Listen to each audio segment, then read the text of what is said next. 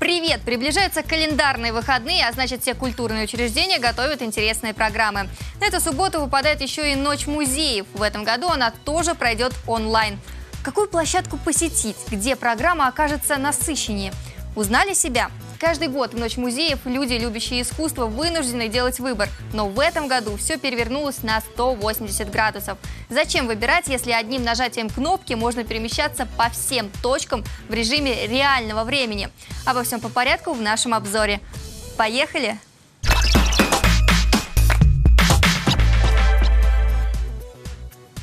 Музей Модерна представит специальную программу в эфире, которая будет отсылать к форматам YouTube, теле, радиошоу. Будут обсуждаться статьи в газетах, написанные в прошлом веке. Обсудит исторический центр Самары, его уникальные постройки, их историю и архитектурные характеристики.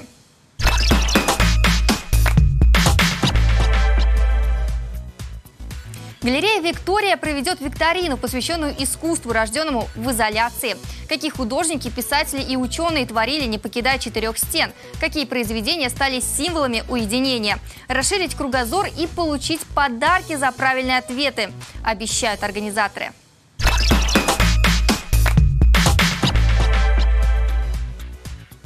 В этот вечер появится уникальный шанс стать одним из первых посетителей самарского филиала Третьяковской галереи. Там проведут виртуальную экскурсию. Что символизирует серп и молот и как работала фабрика кухня. Каким будет филиал Третьяковской галереи в Самаре, где будет первый индустриальный парк и что это вообще такое? Живой эфир из сердца реставрации.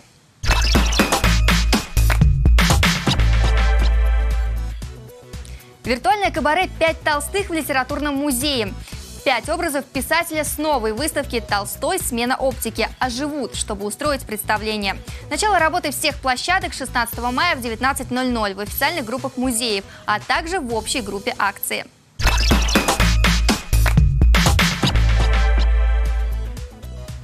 Акция проходит не только в Самаре. Одна из самых ярких программ готовится в Государственной Третьяковской галерее в Москве.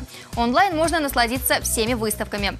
Пушкинский музей тоже не остался в стороне. В прямом эфире на платформе Zoom появилась возможность посещать экспозицию музея в формате живого общения с экскурсоводом.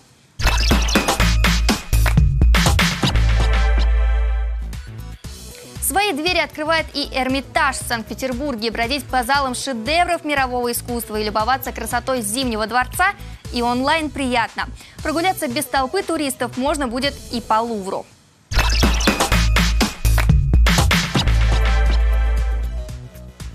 А вечером пятницы настраиваемся на оперу. В 18.30 Самарский театр оперы и балета запустит трансляцию одной из самых популярных в мире опер «Флория Тоска».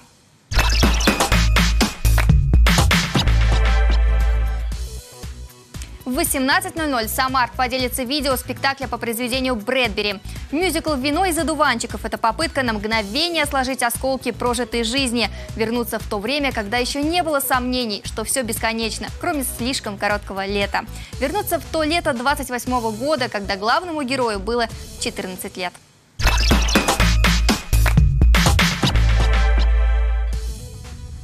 Ну а на этом все. Отличного вам настроения. До встречи!